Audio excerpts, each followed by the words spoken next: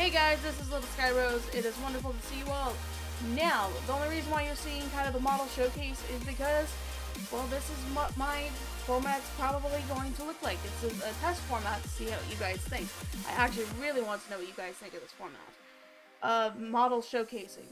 So, yeah, this will be just for uh, VTubing models and stuff like that. So I'll be making 3D VTubing models, not 2D, because I can't work with Live 2D yet. So, just kind of bear with me. Uh, yeah, so that's pretty much it. So, this is Little Sky Rose. I'll see you guys in the next stream or video. Links to those will be down in the description.